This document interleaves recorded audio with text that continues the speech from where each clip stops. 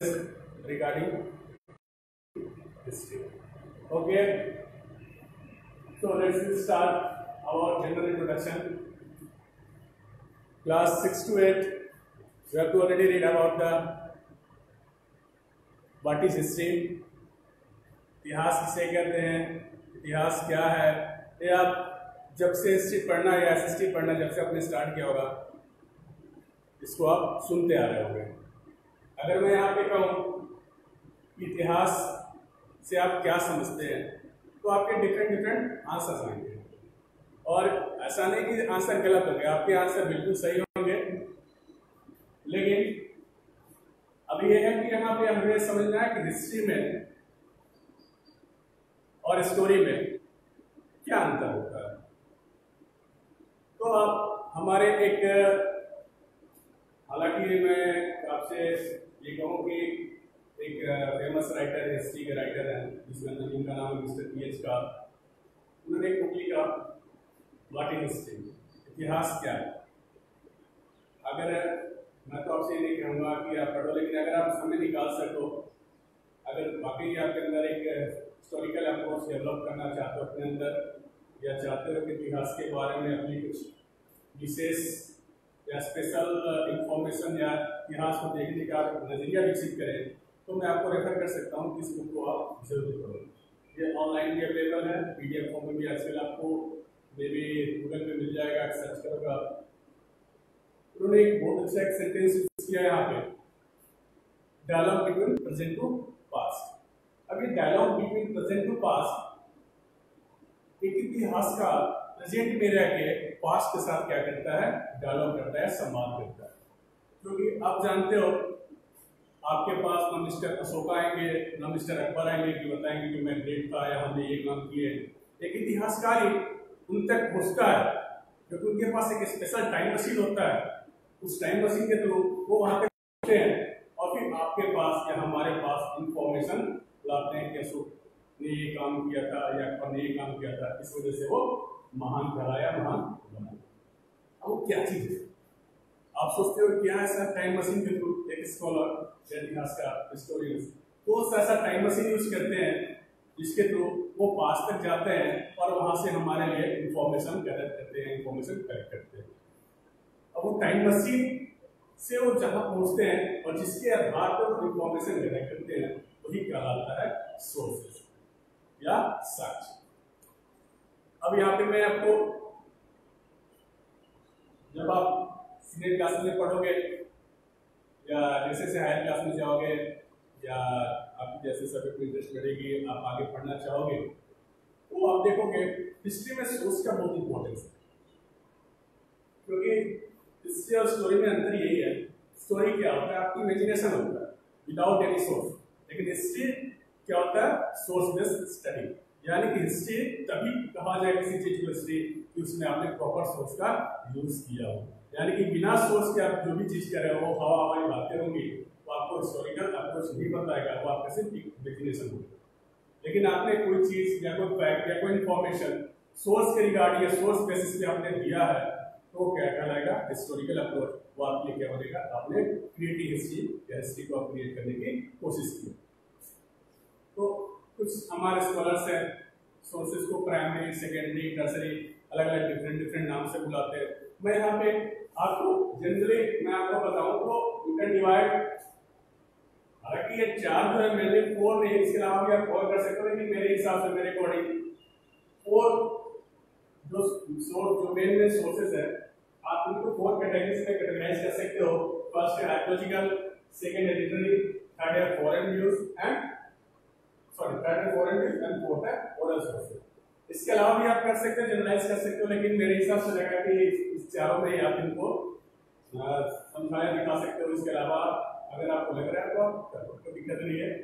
समझाने के लिए चार कैटेगरी में हमने डिवाइड कर रखा है सोर्सेज को। अभी आर्कियोलॉजिकल सोर्सेज ये आर्कियोलॉजिकल सोर्सेज नाम से आपको लग रहा है आर्कियोलॉजिकल तो क्या हो सकता है? आपने सुना होगा दिल्ली में आर्काइव सुना होगा क्लास एट में पढ़ा होगा आर्काइव व्हाट इज़ आर्काइव या आर्कियोलॉजी के बारे में क्लास एट में पढ़ा होगा आर्कियोलॉजिस्ट एक वर्ड मिला होगा आपको आर्कियोलॉजिस्ट अब यहाँ पे आर्कोलॉजिकल सोर्सेज की बात हो रही है, यानी कि ऐसा नहीं कि आप इस वर्ड से फैमिलियर नहीं हो। आप ऑलरेडी इस वर्ड से फैमिलियर हो। और अगर ज़्यादा वो फैमिलियर चाहते हो कि प्रैक्टिकली मैं समझ सकूँ कि आर्कोलॉजिकल सोर्सेज में क्या क्या चीज़ें आती हैं, क्या है तो मैं आपको रेफर करूँगा दिल्ली के आप बच्चे हो आपके यहाँ। हालाँकि भी लॉकडाउन चल रहा है, लेकिन लॉकडाउन ओपन होने के बाद यहाँ पे दिल्ली में एक फ़ेमस जगह है बहुत बाहर से लोग आते हैं टूरिस्ट आते हैं, कुछ बच्चे तो गए। होंगे लेकिन कुछ बच्चे अगर मौका मिले तो नेशनल म्यूज़ियम ज़रूर हुआ वहाँ पे आप देखोगे कैसे चीज़ें, कौन कौन सी सोर्स है जो पास के बारे में बहुत सारी इन्फॉर्मेशन देती है। आर्कोलॉजिकल सोर्सेज में आपकी ढेर सारे रखे हुए खासकर आप जब क्लास ट्वेल्थ में जाओगे तो वहाँ देखोगे फ़र्स्ट चैप्टर जो है ब्रिक्स वेट्स एंड बोन्स है ब्रिक्स एंड बोन्स तो वहाँ पे चैप्टर फ़र्स्ट के हार्मोन सिलेक्शन से रिगार्डिंग बहुत सारे सोर्सेज हैं। जिसके आधार पर आप उस समय के हिस्ट्री को क्रिएट कर सकते हो। खुद ही आप चार्ट क्रिएट कर सकते हो। अगर आपके अंदर एक इतिहासकार बनने का एक स्कॉलर शोध करने की आपके अंदर टेंडेंसी या प्रवृत्ति अगर डेवलप हो रही है तो आप जाओगे नेशनल म्यूज़ियम में। और वहाँ पे जो भी चीज़ें मॉन्यूमेंट्स या आर्टिफैक्ट्स वगैरह, जो भी चीज़ें हैं उसको देख के आप खुद में एक हिस्टोरिकल आपको डेवलप करके हिस्ट्री राइटिंग कर सकते यहाँ पे आर्कोलॉजिकल जो सोर्सेज हैं, इस आर्कोलॉजिकल सोर्स में आप देख सकते हो buildings coins clothes utensils tools physical remaining ये सारी चीज़ें आर्कोलॉजिकल सोर्स के अंदर आप रख सकते हो। अब जो है ये आर्कोलॉजिकल सोर्स मुझे लगता है संजय कि एल्गोरिथम जो भी चीज़ें फाइंड आउट करता है अपर द सरफेस या अंडर द सरफेस जो भी चीज़ें मिलती हैं, एक एल्गोरिथम को सरफेस के ऊपर या सरफेस के सतह के नीचे से खुदाई के जो भी चीज़ें वो फाइंड आउट करता है, वो आपका आर्कोलॉजिकल सोर्सेस कहलाता है। अगर सेकेंड एस्पेक्ट की बात करूँ सोर्स में सेकेंड है लिटरेरी एस्पेक्ट सोर्सेस लिटरेरी में हमने यहाँ पे दो वर्ड यूज़ किया है religious and second non religious हालाँकि कुछ बच्चे क्वेश्चन पूछ रहे हैं, कुछ लोगों को लगता होगा कि डाउट होगा सर रिलीजियस टेक्स्ट क्या है नॉन रिलीजियस टेक्स्ट क्या है? तो अगर मैं यहाँ पे बात करूँ, अगर इंडियन कॉन्टेक्स्ट में बात करूँ तो यहाँ पे आपने वेदास के बारे में सुना होगा। ऋग्वेद, सामवेद अथर्वेद यजुर्वेद या पुराण स्मृति ये सब ये पास के बारे में खासकर उस पीरियड के बारे में पीरियड में लिखा गया हमें बहुत ही महत्वपूर्ण सोशल एस्पेक्ट या जो भी आप एस्पेक्ट कर लो वो सारे इंफॉर्मेशन हमें इन टेक्स्ट से मिलते हालाँकि यहाँ पे हमारी लिमिटेशन ये है कि हमें रिलीजियस एस्पेक्ट मतलब रिलीजन की बात को और हिस्ट्री की बात को हमें वहाँ पे अलग करके समझने की कोशिश करना है। ऐसा नहीं कि हर एक चीज़ हिस्ट्री के अकॉर्डिंग सारी चीज़ें इंपॉर्टेंट है इसलिए मैं आप हिस्ट्री राइटिंग कर रहा हूँ लेकिन फिर भी जो है, आपको एक पार्किंग निगाह रखना होगा कि मैं यहाँ पे किन चीज़ों को लूँ और किन चीज़ों को छोड़ दूँ। हालाँकि बहुत बड़ा चैलेंज है इसी से क्वेश्चन खड़ा होता है और ऑब्जेक्टिविटी ऑफ़ हिस्ट्री या वस्तुनिष्ठता हिस्ट्री में वस्तुनिष्ठता जो आप जैसे जैसे आगे अपर क्लास में जाओगे, ये आपके डाउट क्लियर हो जाएँगे। आगे बढ़ बैठ कर बाइबल ये भी क्या है? रिलीजियस टेक्स्ट है। जो अपने आप में इतिहास को बतलाते हैं। अब यहाँ से नॉन रिलीजियस टेक्स्ट जो बात है नॉन रिलीजियस टेक्स्ट जो है वो क्या रहेगा जैसे आप देख सकते हो, अर्थशास्त्र हिंदू ने खुद लिखी अर्थशास्त्र। या कंटेम्प्रोरी पीरियड में कंटेम्प्रोरी राइटर्स थे, जिनको कहा जाता है कालिदास। आप जानते हो फ़ेमस हो फैमिली और कालिदास से। आप हिंदी साहित्य में या संस्कृति इनके बारे में, या उनकी नॉवेल्स को आप ऑलरेडी पढ़ चुके हो उन्होंने बहुत सारी किताबें लिखी। अभिज्ञान शकुंतलम ये भी क्या है? अपने कंटेम्प्रोरी सोसाइटी को सिचुएशन को सिनारियो को जानने के लिए आपके लिए इम्पोर्टेंट सोर्स हो सकता है। यानी लिटरेरी सोर्स में जो हमने क्लासिफिकेशन किया रिलीजियस एंड नॉन रिलीजियस ये आपको एक जनरल व्यू देने के लिए हमने इस तरह के क्लासिफिकेशन के तहत किया, उसमें बाइफरकेट करके समझ सकते अब जो नेक्स्ट है फॉरेन व्यूज़ यहाँ पे फॉरेन व्यूज़ में आप सोचते हो फॉरेन व्यूज़ का मतलब क्या? फॉरेन व्यूज़ जो है, बहुत सारे ऐसे एस्पेक्ट्स हमें बताते हैं, जो शायद हमारे लिए, हमने बाय डे उन चीज़ों को देखते हैं, समझते हैं, लेकिन हमने उन्हें इम्पोर्टेंस नहीं दिया। लेकिन अगर दूसरे जो यहाँ पे आए, या यहाँ के लोग दूसरी जगह गए, वहाँ पे उनको यूनिक सा लगा। और उन्होंने उसके बारे में डिस्क्रिप्शन या अपने अकाउंट्स में लिख रखा है। और वो जो है, जब हम उस अकाउंट्स को या उनके व्यूज़ को हिस्टोरिकल आस्पेक्ट के रूप में उस पीरियड को जानने के यूज़ करते हैं तो हमें काफ़ी अलग सा इंफॉर्मेशन मिलता है। जैसे मैं सिंपल से आपको बात बताऊँ, जब मैं यहाँ दिल्ली में से पहले मेरी पोस्टिंग थी अंडमान निकोबार में तो वहाँ पे एक आइलैंड आप अंडमान निकोबार जो कि आइलैंड्स है, उसमें five seventy five seventy two islands हैं। और कुछ ह्यूमन हैबिटेट्स जो है अप्रॉक्स थर्टी टू या थर्टी थ्री आइलैंड्स में जो है इंसानी बस्तियाँ हैं। बाकी फॉरेस्ट है, और वहाँ पे परमिशन भी नहीं हो सकते लोगों को जाने के लिए। तो जो एयरपोर्ट है, अंडमान निकोबार में एयरपोर्ट और जो Andaman train road ATR road ये दोनों पैरेलल चलता है। एयरपोर्ट की जो रनवे है और एटीआर जो रोड है, वो दोनों पैरेलल जाता है।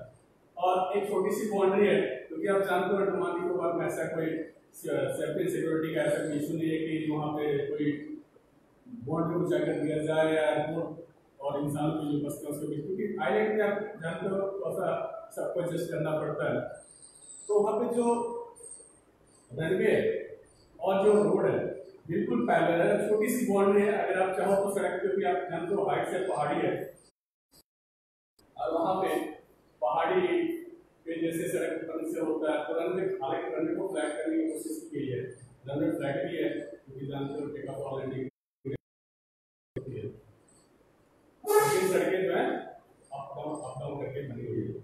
तो जब भी मैं स्कूल तो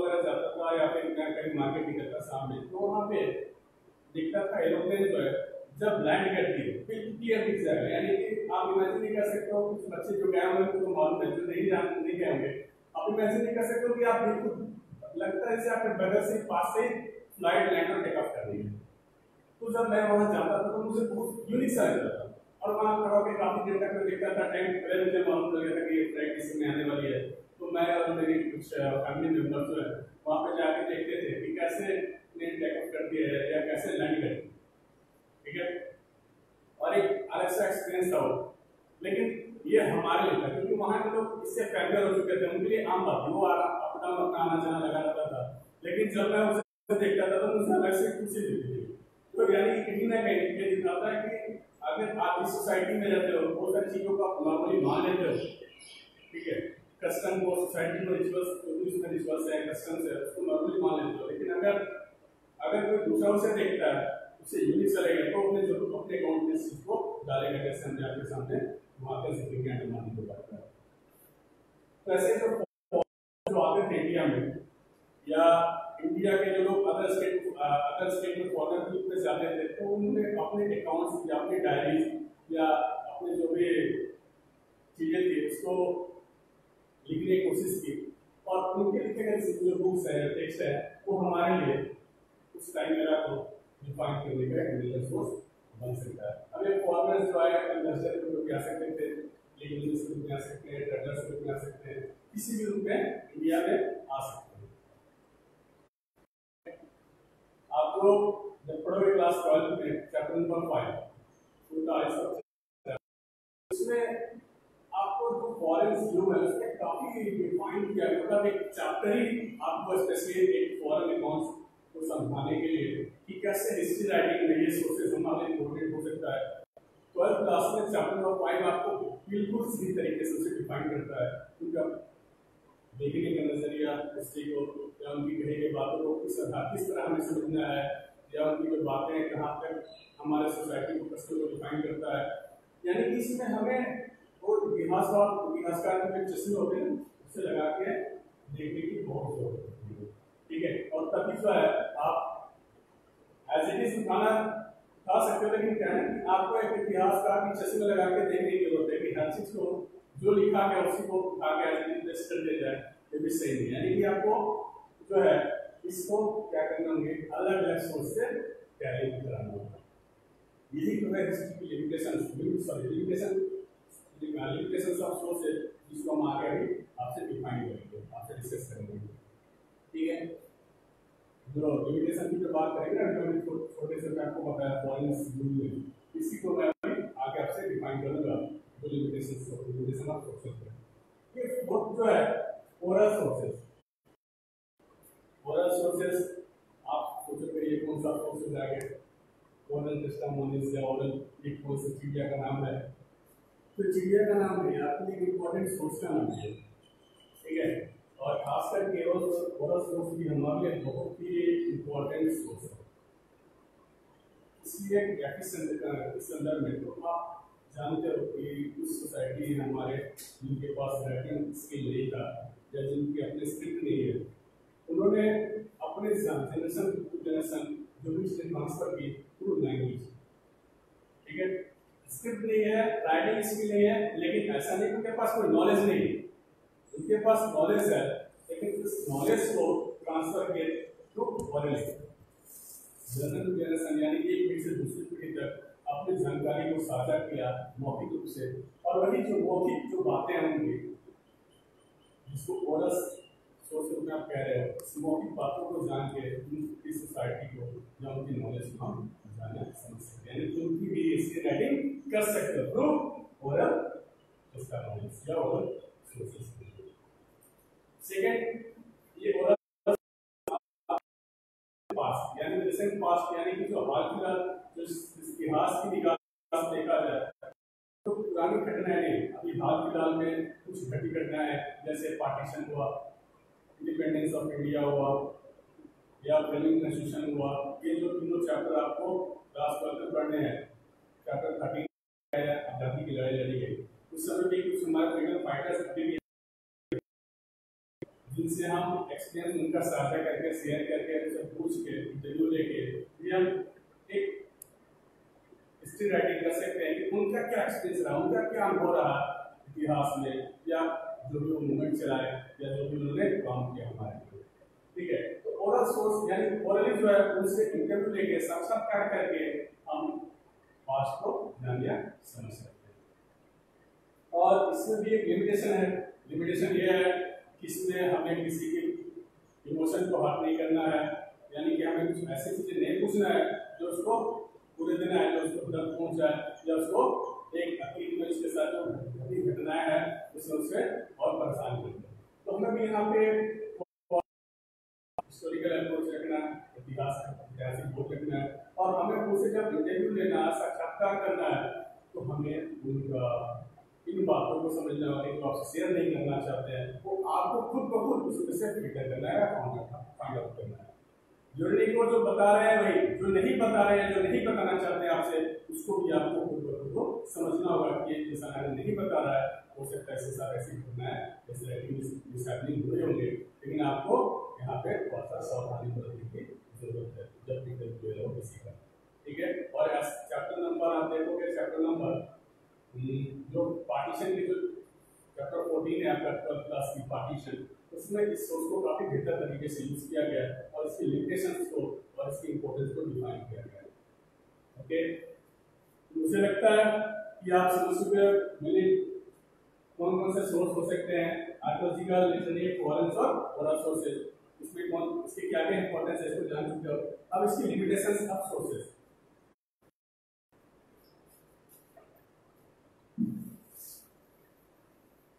limitations of sources limitations चीज़ की लिमिटेशंस है, हमारे लिमिटेशंस है, आपकी लिमिटेशंस है। सबकी कोई ना कोई लिमिटेशंस होती है। ऐसे ही सोर्सेज की भी लिमिटेशन ये लिमिटेशन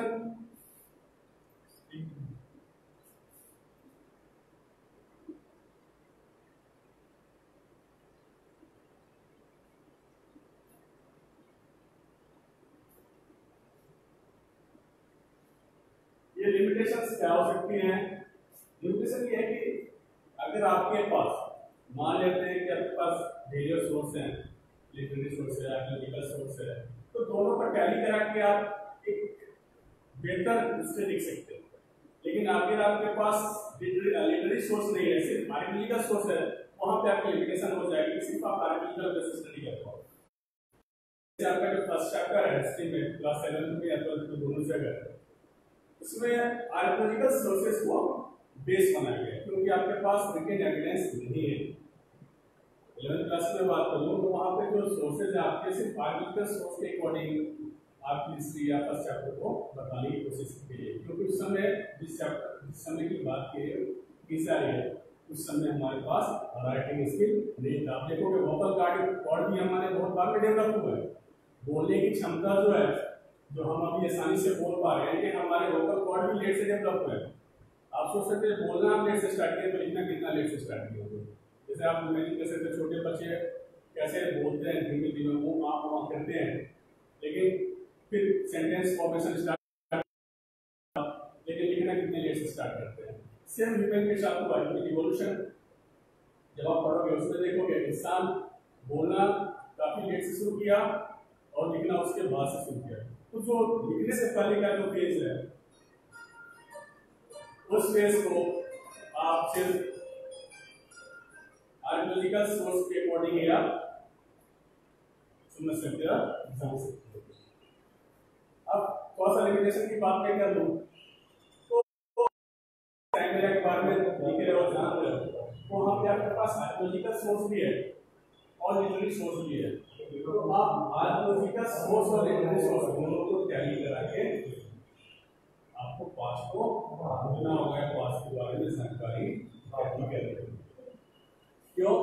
क्योंकि आप तो बहुत बड़ी बड़ी बातें कह दी जाती, कहती जाती है, लेकिन क्या आर्कियोलॉजी में से चीज़ें मिली है? ठीक है? जैसे अभी आप देखोगे मैं अगर क्लास ट्वेल्थ में मैं बार बार एग्ज़ाम्पल ले रहा हूँ क्या क्लास ट्वेल्थ में आपको इंडियन हिस्ट्री पढ़ना है और क्लास इलेवंथ में आपको वर्ल्ड हिस्ट्री पढ़ना है। ठीक है? तो इंडियन हिस्ट्री आप क्लास सिक्स टू एट तक आप ऑलरेडी पढ़ चुके हो। अच्छे से पढ़े तीन क्लासेस में पढ़े हो। फिर नाइन्थ में उसी के पढ़नी थी आपको टेंथ में पढ़नी थी इसलिए मैं बार बार इंडियन हिस्ट्री से आपको एग्ज़ाम्पल दे रहा हूँ, क्योंकि आप उसे फैमिली हो। बाकी गवर्नेंस को हम आगे पढ़ेंगे।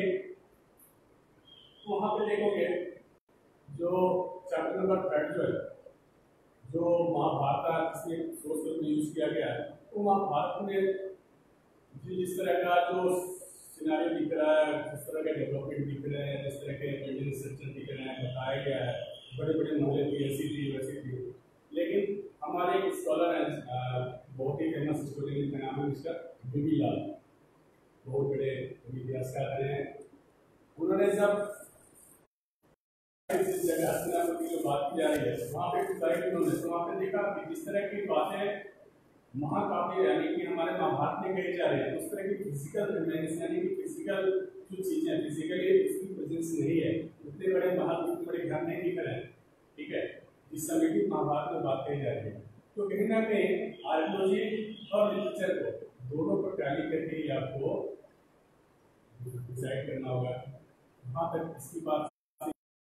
इसकी बात सही है, और दोनों के बीच में मिडिल पथ की जो बात है, जो मार्ग है, जो भगवान बुद्ध ने भी कहा है मिडिल पथ जो मध्यम मार्ग, उस रास्ते पर चल रहे राइटिंग करनी है।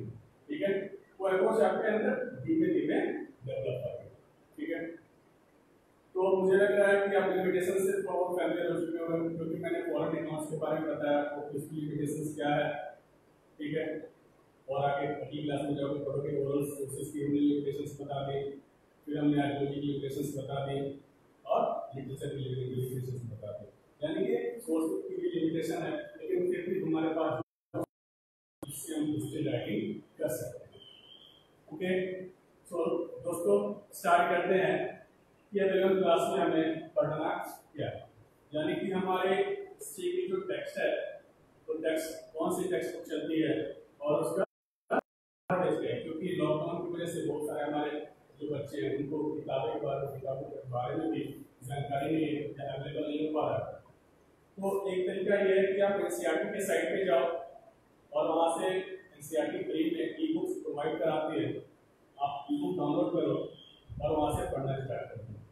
क्यों? क्योंकि जितना वेट करोगे जितना लेट करोगे, समय अपने नहीं होगा। समय अपने हिसाब से, अपनी रफ्तार से चल रहा है। आपको समय को पकड़ना है। जब छोटे थे हम जब किताब में पिक्चर बना हुआ था, जिसमें लिखा है कि इंसान इन बुक में है और उसके सिर्फ़ आगे ही। रहते हालाँकि हम लोग के पास आगे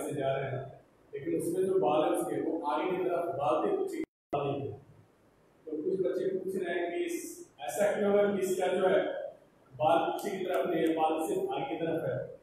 तो इसमें बताया गया कि पिक्चर जो है समय की समय को आप चाहो तो आगे से पकड़ सकते हो। समय को पीछे से पकड़ना नामुमकिन है। समय को पकड़ना है तो उसके आगे बढ़ो, उसके आगे जाओ। ठीक है? तो जो समय आपको जा रहा है गुजर रहा है, वो समय आप दोबारा पकड़ नहीं कर सकते पकड़ नहीं सकते, हासिल नहीं कर सकते। लेकिन हाँ जो समय आने वाला है, उसके लिए आप तैयारी ज़रूर कर सकते हो। और हर दिन की समय आपका गुजरता जा रहा है, बढ़ता जा रहा है तो आप अवेयर हो जाओ और चीज़ों को सीरियसली लेना स्टार्ट करो। क्योंकि जब सफलता हासिल करनी है तो उसके लिए आपको लगन की भी ज़रूरत है क्लास इलेवन क्लास में जो टेक्स्ट बुक चलता है, ये टेक्स्ट बुक है थीम्स इन द वर्ल्ड इसके कवर में जैसा ही। है एनसीईआरटी द्वारा जो एनसीईआरटी की टेक्स्ट बुक है, वही हमारे पूरे केबीएस में सीबीएसई जो स्टूडेंट हैं उनमें एनसीईआरटी की बुक से चलती है। और प्रोबेबली जो जो क्वेश्चंस भी आते हैं, वो एनसीईआरटी बेस्ड क्वेश्चन आते हैं। ठीक है? ये हिंदी में विश्व इतिहास से कुछ विषय और इंग्लिश में थीम्स इन द वर्ल्ड से मैं यहाँ पे एक बात कर बहुत सारे बच्चे सोचते हैं, दस किताब पढ़े ये किताब पढ़े वो किताब पढ़े। मैं आपको फिर एक बार मैं कह देता हूँ? सर, मैंने पिछले वीडियो में कहा था लेकिन मुझे वीडियो थोड़ा सा टेक्निकल प्रॉब्लम की वजह से प्रॉपर तरीके से अपलोड नहीं पाई या आप तक मैसेज नहीं पहुँच पाई मैं यहाँ पे आपको बता दूँ, दस किताब एक बार पढ़ने से अच्छी है, एक किताब को दस बार पढ़ो। और आपके लिए बाइबल कुरान या गीता जो भी एनसीईआरटी बुक ही आपके लिए बाइबल पुराने भी हो सकता है। क्यों? क्योंकि सीबीएसई का जो पैटर्न से उस पैटर्न के अकॉर्डिंग पूछे जा रहे हैं। ट्वेंटी मार्क्स के question one word one sentences MCQs form में या राइटिंग फॉर्म के फॉर्म में जो है ट्रू और फॉल्स के फॉर्म में आ रहे हैं। तो जब तक आप किताब को सरसरी निकास नहीं डिटेल में जब तक नहीं पढ़ोगे हर एक जो वैल्यू है वन से आपकी निगाह से अगर इसे नहीं गुजरेगा तो आप वहाँ पे नंबर लूज कर जाओगे। एक नंबर आना, एक नंबर जाना, ऐसा नहीं एक नंबर की बात कर ट्वेंटी नंबर लाना हासिल करना भी आसान है और ट्वेंटी नंबर लूज करना भी आसान है। तो लूज तब करोगे आप जब एनसीआरटी को प्रॉपर तरीके से नहीं करोगे। आपके जो भी चीज़ है, बाकी कुरान गीता फ़िलहाल के लिए एनसीआरटी है और एनसीआरटी को आप जितनी बार पढ़ सको पढ़ो इतना ही आपको लगे आपकी बार बार कुछ नया इन्फॉर्मेशन मिल जाता अभी मैंने भी बहुत बार पढ़ी थी सीआरटी लेकिन जितनी बार भी पढ़ता पढ़ता मुझे लगता है ये मान मुझसे छूट गया था। ये तो कुछ नया वहाँ से मिला यानी कि हर बार आपको कुछ नया देखने को मिलेगा। एनसीईआरटी अपने आप में एक कंप्लीट किताब है आप इस चीज़ को समझो ठीक है? अब ये ये तो हमारा कवर पेज कवर पेज क्या है? अब कंटेंट कौन कौन से हैं? अब कंटेंट है, आपने यहाँ पे कैंसिल आप देखो चैप्टर 11 जो है थीम 1 टू 11 जो है टोटल 11 थीम्स हैं हमारे टेक्स्ट बुक में। ठीक?